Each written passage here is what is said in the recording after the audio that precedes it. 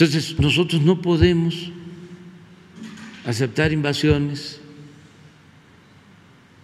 de Rusia a Ucrania, pero de China a otro país, ni de Estados Unidos a ningún otro país.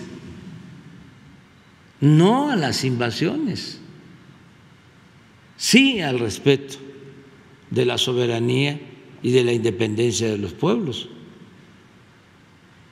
Bueno, ¿qué hicieron con esta declaración? Eh, ¿No tienes ahí lo que manejaron? Creo que Daniel Azaf debe tener. Usaron una imagen del presidente eh, Putin,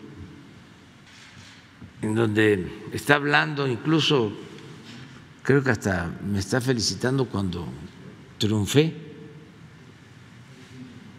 y modifican la traducción.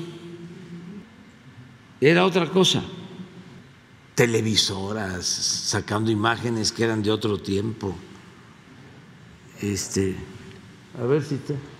Miren. Владимир Путин поздравил Андреса Мануэля Лопеса Абрадора с победой на президентских выборах в Мексике. Андрей в телеграмме глава российского государства подчеркнул, что в нашей стране высоко ценят традиционно дружественные отношения с Мехико и выступают за их дальнейшее развитие.